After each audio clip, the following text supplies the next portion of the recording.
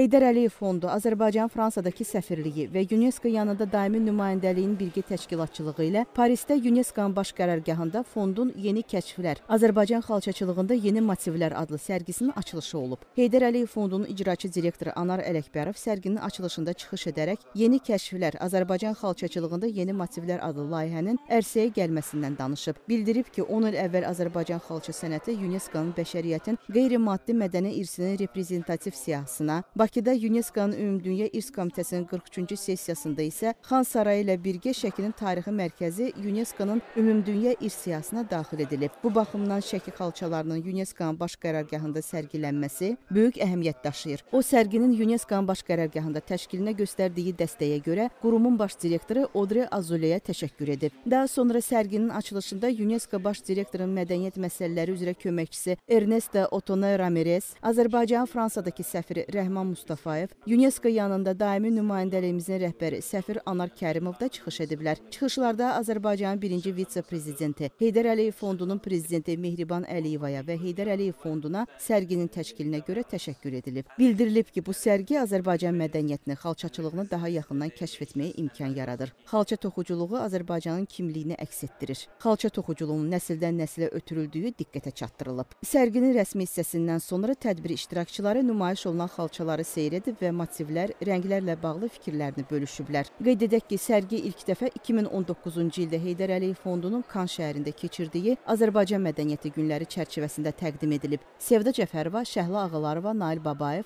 Azərtac, Paris.